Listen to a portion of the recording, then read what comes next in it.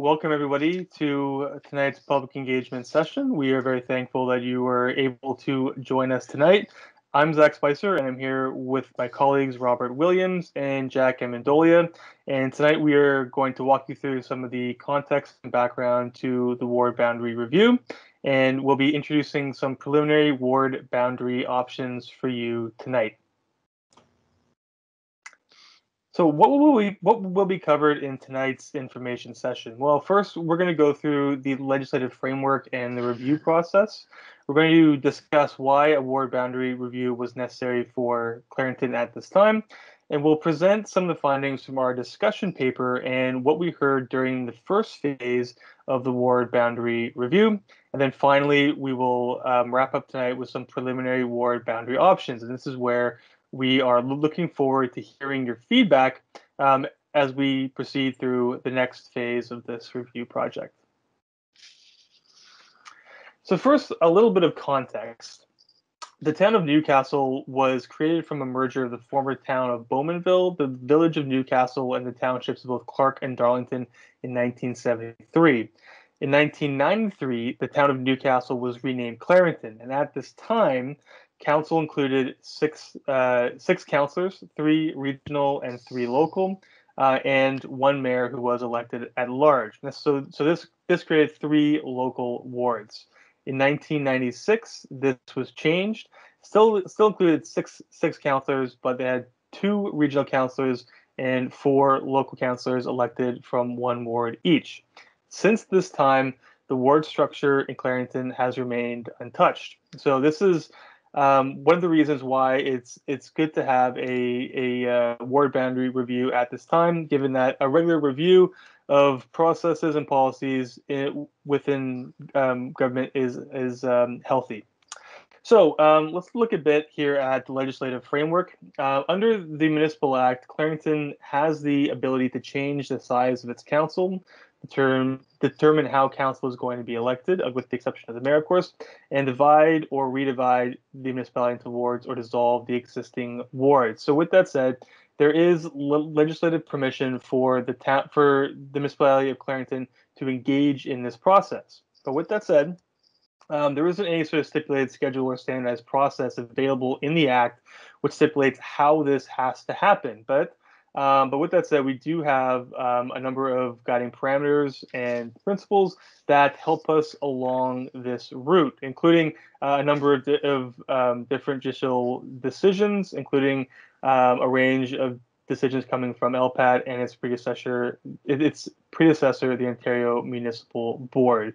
These help us um, guide some of our uh, work throughout this process.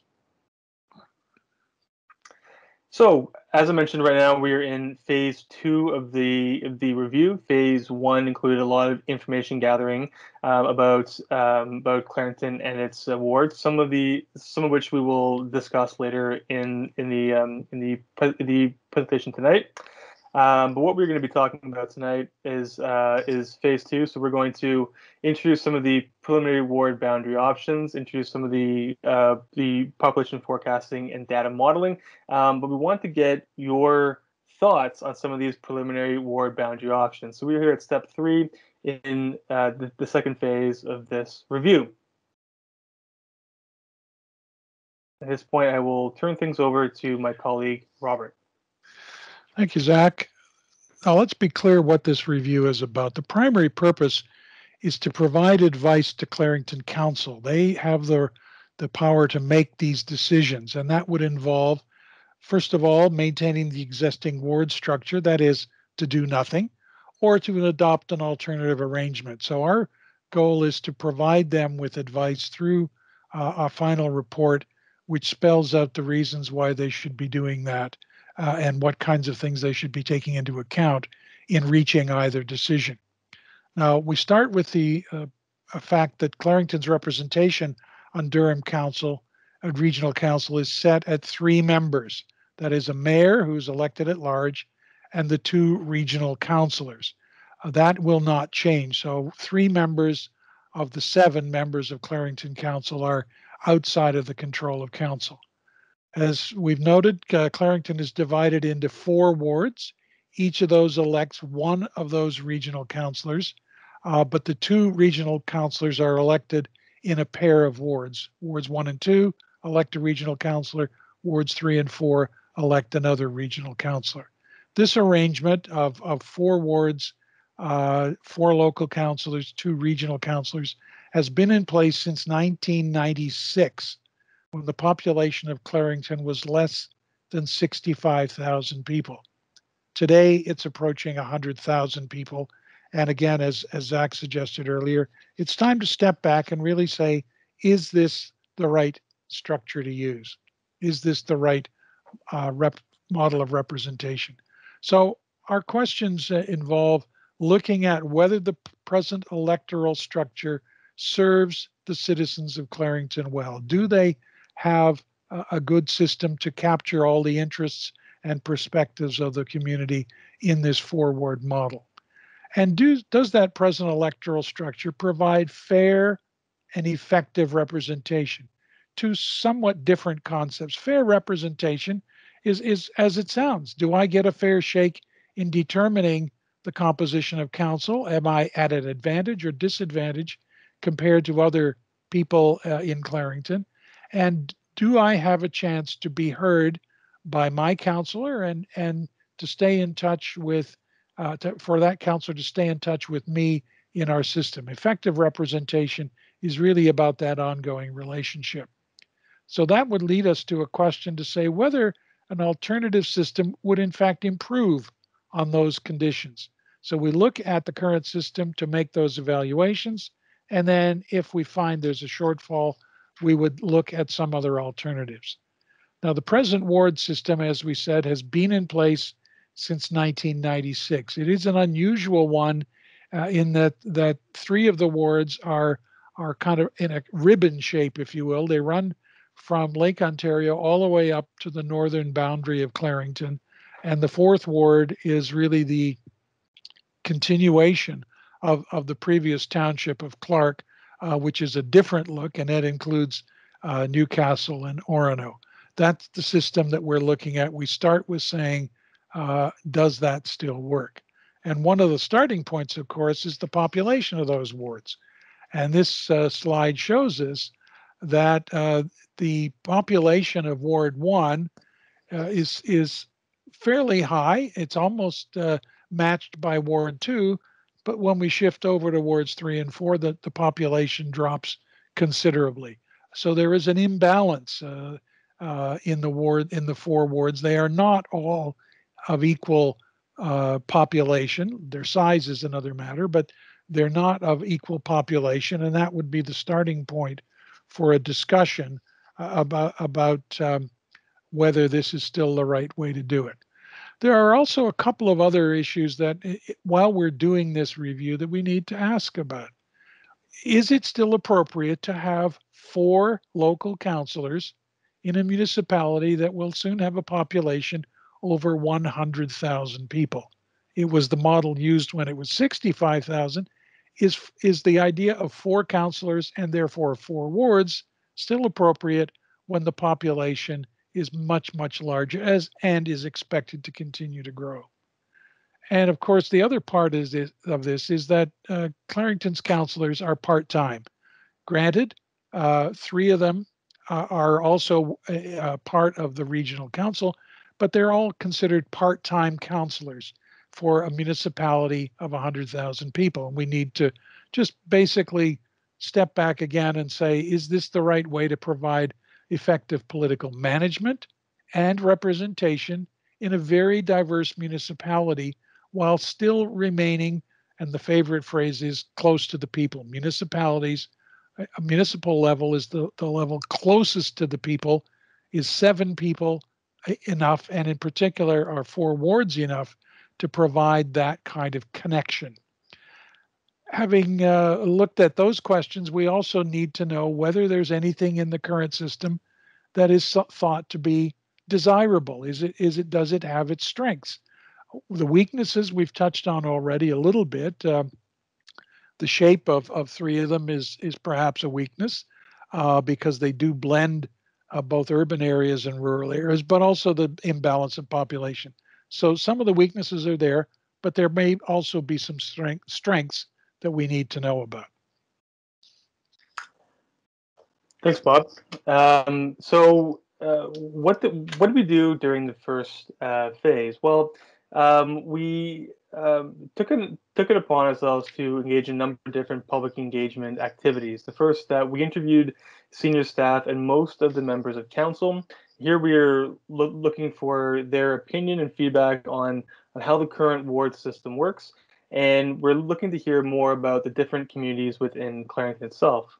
We had four one-hour public consult consultation sessions, very similar to what you are seeing tonight, where we had a, a presentation and then um, time allotted for uh, feedback about the current ward system. And we had a survey and engagement website where uh, comments were collected from those who were interested in providing them. Now, we've taken all of that feedback very, very seriously. And uh, I'm going, going, to present some of those uh, findings, but the, the one high level finding that was, was repeated several times is that respondents within Clarington tended to um, identify more with their individual communities than with Clarington as a whole. So if you were from Bowmanville, you tended to identify uh, with uh, Bowmanville primarily um, as as opposed to um, Clarington as a whole. And some of the other findings here. The first is that um, there are strong rural and ag agricultural interests um, across Clarington. The majority of Clarington's geography is primarily rural and primarily agricultural. With that said, the bulk of the population is within the southern area of the municipality.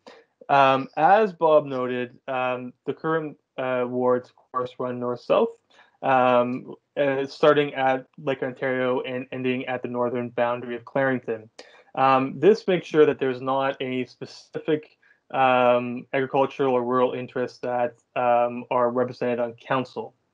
The second finding is that respondents tended to, to believe that um, Clarington's uh, regional councilors should continue to be attached to the wards. Uh, in some municipalities across the province, uh, regional councilors are elected at large. We heard that having them attached to individual wards works well, and that um, that there is um, a component that assists with uh, with constituency work here as well. So actually lightens the load of some of the local councilors. So we we have heard that there is a benefit to continuing with that practice. Third is that um, some people thought that adding additional uh, voices to, to the council table would be beneficial and contribute to the ongoing democratic needs of Clarington, um, which, which, we'll uh, touch on um, again in a second. And then uh, fourth, response respondents suggested that um, that priority be placed upon the principles of representation by population and effective representation, and slightly less on community or diversity of interest. And then finally, um, a number of people in the survey and uh, some some staff members addressed the possibility of uh, a five or six ward system that would add one or two more local councilors to um, Clarington's council. This complements some of the calls that we've um, that we that we've had for a northern ward, given that um, we have heard that there are strong rural interests that are simply not represented right now on council, given that the current ward systems blend rural and urban populations together. With that, I'll turn it back to uh, Bob. Thank you, Zach. Now, the starting point, of course, is to say you've got a ward system is it still workable? And so we want to assess that uh, uh, structure, the present wards, to determine whether, and I've used this phrase earlier, it constitutes an equitable, that is, a fair and effective electoral arrangement. Does it provide effective representation to the residents of the municipality? That becomes a, a part of the paper that that is uh, currently uh, available. And if there are shortcomings, then we would look at ways to improve it. Are there other alternatives that we could con, uh, consider uh, that would attack uh, the particular shortcomings? Now, our preliminary assessment, and we've developed this in more detail, uh, suggests that the present wards do fail to adhere to the representation, representation by population principle. We saw that slide earlier. The difference between the largest and the smallest wards is really quite uh, significant. And that, moreover, when we look toward the future, which is part of our, our responsibility here, the population disparity actually gets worse through the next three election, election cycles. We, it, in other words, the population growth does not correct the imbalance that's there. And we saw the chart earlier, or the, the graph earlier, but here is another way of representing that. Our goal in here is to, to achieve what we call an optimal size for a ward. If there are four wards and the population in 2016, the last, the last census was 92,000, then a ward, each of the four wards should be about 23,000 people with a bit of, of flexibility. And we can see from this that even with a 25% variation, Ward 4 does not even uh, reach that height, and Ward 1 is well above that. When we move out uh, to the current situation in, in, in uh, 2020, we see that the Ward 1 is right at the very top of the range of variation, and Ward 2 is now well beyond it.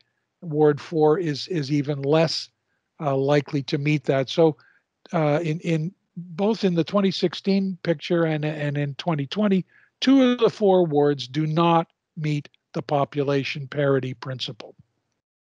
So uh, those two points are, are clear, but there are other comments that that come out uh, in looking at the way the wards are currently structured.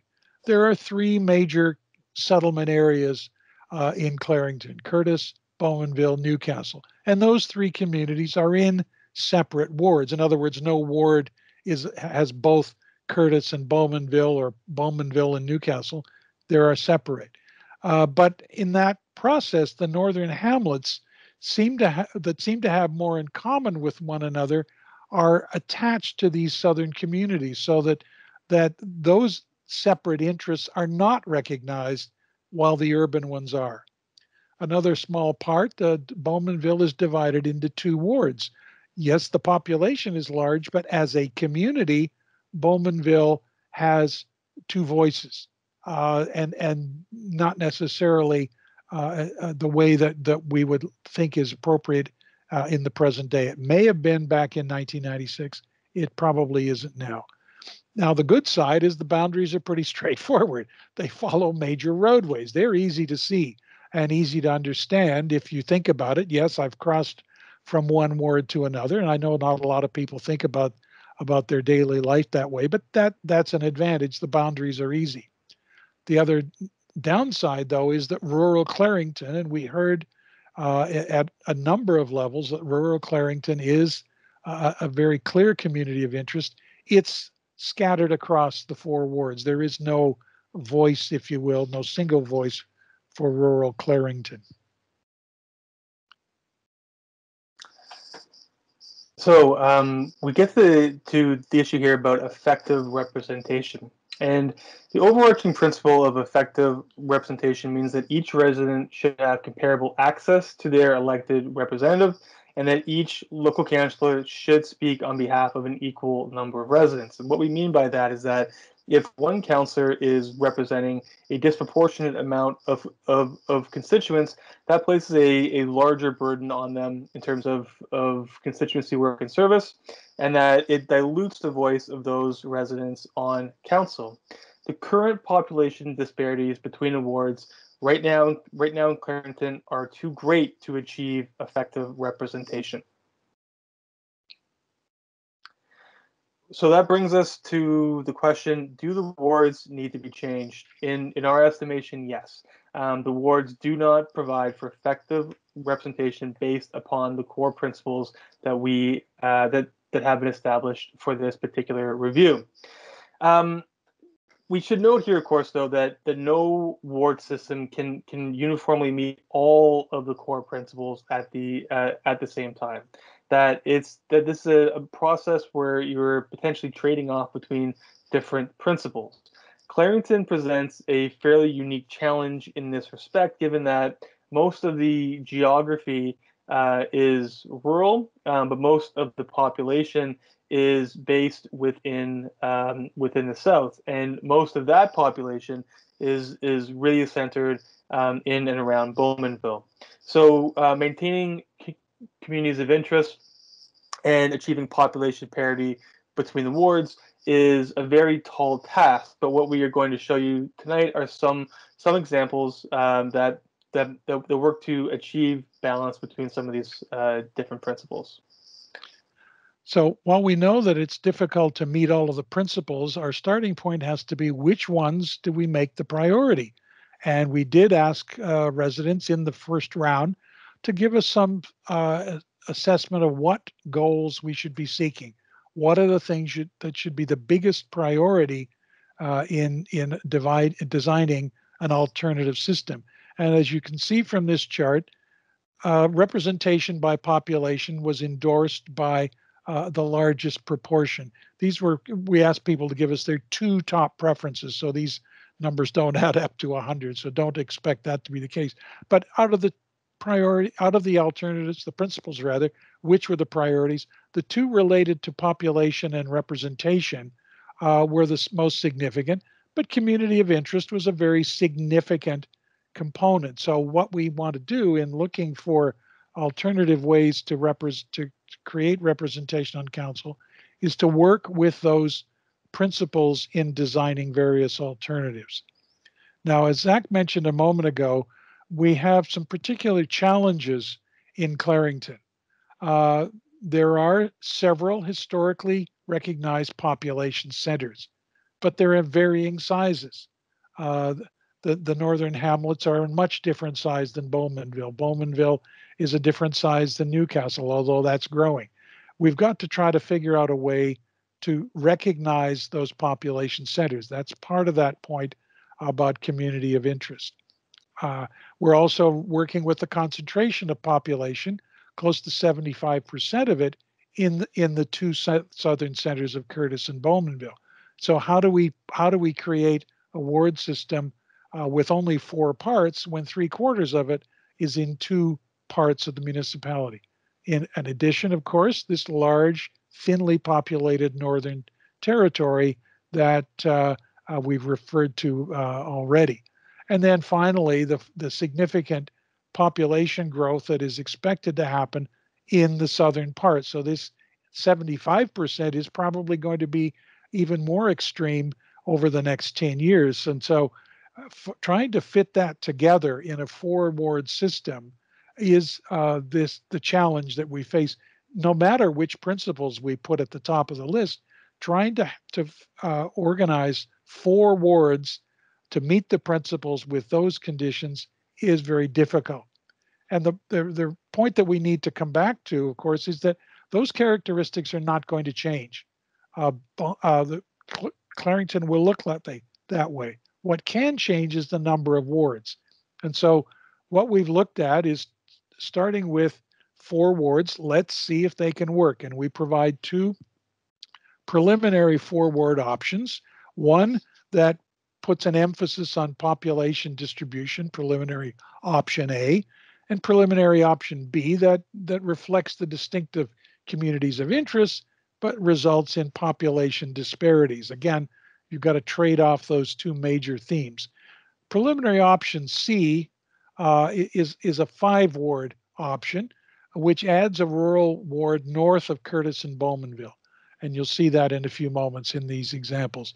But option D includes two largely rural wards uh, to keep the number, uh, to, to put the number at, at six in the, um, in, in the a future council.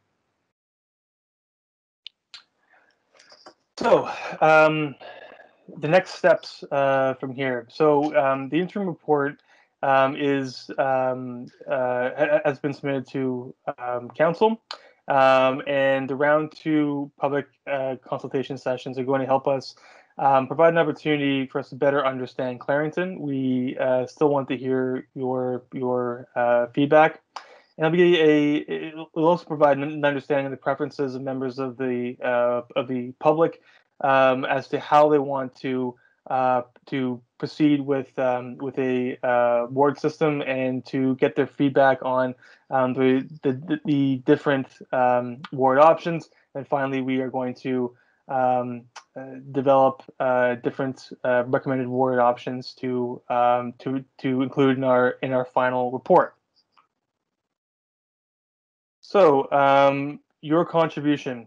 Um, first tonight, um, be willing to ask questions and um, let us know what you think of the preliminary ward options that we're going to show you tonight. Um, also, be sure to uh, check out the Engage Clarington website. Um, there's lots of information there on the review itself, and um, and should uh, should be helpful to you in in providing further background context at this particular review. Um, read the interim reports and our discussion paper, um, and of course, um, continue to complete the survey um, that's on the municipality's website. So uh, we want public input. We want people to help us understand what they believe is appropriate for Clarington, for a, a future composition of council, for a future set of wards. And that is an important part of what we want to do here. And so we want your input to provide that kind of insight. But we also need to emphasize that this is not a popularity contest. This is not a matter of whoever puts up their hand to vote for uh, option whatever, whatever is going to be the right one. It's part of the insight we need to gather from the community to be able to use in relationship with the expertise that we're bringing to this and the experience that we find in other municipalities to, de- to develop our recommended options.